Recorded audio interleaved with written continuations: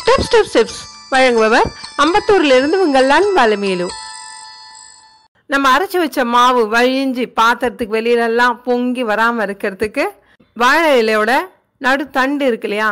அதை எடுத்து சுத்தம் பண்ணி நம்ம பாத்திரத்துக்குள்ள எந்த அளவுக்கு வரைக்கும் மாவு பொங்கி வந்தால் போருமோ அந்த இடத்துல அப்படியே வச்சிட்டோன்னு வச்சுக்கோங்களேன். அதுக்கு மேலே அந்த மாவு பொங்கி வரவே வராது.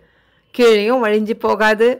நம்ம ஈஸியாக அடுத்த நாள் எடுத்து சமைச்சிக்க பயன்படுத்திக்கலாம். ஸ்டெப் ஸ்டெப் ஸ்டெப்ஸ் உடல் எடையை குறைக்க எடுத்துக்கோங்க.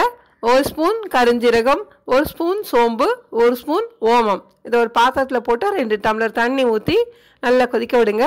நல்லா கொதி வந்ததும் சிம்மில் வச்சு இன்னொரு பத்து நிமிஷம் கொதிக்க விடுங்க.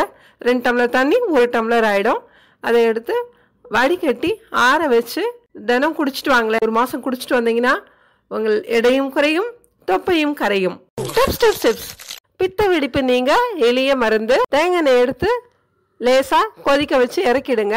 அதில் குங்குலியம் நாட்டு மருந்து கடையில் கிடைக்கும். கல்கண்டு மாதிரி இருக்கும் பார்க்கறதுக்கு. அதை வந்து ஒரு பத்தோ பதினஞ்சோ நமக்கு எவ்வளோ தேவையோ அதை எடுத்து அந்த தேங்காய் எண்ணெயில் போடுங்க. அது கொஞ்ச நேரத்தில் அது உருகிடும். நல்லா மிக்ஸ் ஆகிடும் தேங்காய் எண்ணெயோட அதை எடுத்து பித்த வெடிப்பு எங்கே இருக்கோ அந்த இடத்துல தடவிட்டு பாருங்களேன். பித்த வெடிப்பு வெகு சீக்கிரத்தில் உங்களுக்கு குணமாயிடும். ஸ்டெப் ஸ்டெப் ஸ்டெப்ஸ் கன்னத்தில் எதனால் வீக்கம் ஏற்படுது? ஈர் வீக்கம் இருந்தால் வாயில் தொற்றுக்கள் இருந்தால் பல்லில் ஏதாவது தொற்றுக்கள் இருந்தால் தொண்டையில் ஏதாவது தொற்றுக்கள் இருந்தால் விழுந்து அடிபட்டு கன்னத்தில் வீக்கம் ஏற்பட்டிருக்கலாம். இது மழைக்காலம் இல்லையா?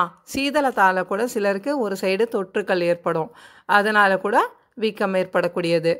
கன்னத்தில் உள்ள வீக்கத்தை போக்கக்கூடிய எளிய மருந்து என்னென்னு பார்ப்போம். வருங்கள். ஒரு சின்ன உரலோ இல்லை கல்லோ எடுத்துக்கலாம். அதில் ஒரு ஸ்பூன் கருஞ்சீரகம் போட்டுக்கலாம். வெற்றிலை தேவையான அளவு எடுத்து நல்லா கிள்ளி அதில் போட்டுட்டு நல்லா மைய அரைச்சிட்டு நைஸாக இருக்குது இல்லையா அதை வந்து பற்றாட்டம் காலை மாலை நம்ம வைக்க இருக்கிற இடத்துல பூசி வச்சுட்டு ஒரு அரை மணி நேரம் கழித்து கழுவி விடலாம் இரவு நேரத்தில் போடுறதா இருந்தால் நம்ம அப்படியே விட்டுடலாம். அரை மணி நேரம் கழிச்சு கழுவ வேண்டாம். காலையில் எழுந்து கழுவினாலே போகிறோம் இது கன்னத்தில் உள்ள வீக்கத்தையும் போக்கும். வாயில் உள்ள தொற்றுக்கள் பல்லில் உள்ள தொற்றுக்கள் ஈரில் உள்ள தொற்றுக்கள் எல்லாத்தையுமே போக்கிடும். என்ன சொந்தங்களே உங்களுக்கு இந்த டிப்ஸ் பிடிச்சிருக்கோன்னு நினைக்கிறேன். பிடிச்சிருந்தா ட்ரை பண்ணி பாருங்கள் உங்கள் ஃப்ரெண்ட்ஸ் அண்ட் ரிலேட்டிவ்ஸ்க்கும் ஷேர் பண்ணுங்கள் மீண்டும் ஒரு டிப்ஸில் சந்திப்போம். நன்றி.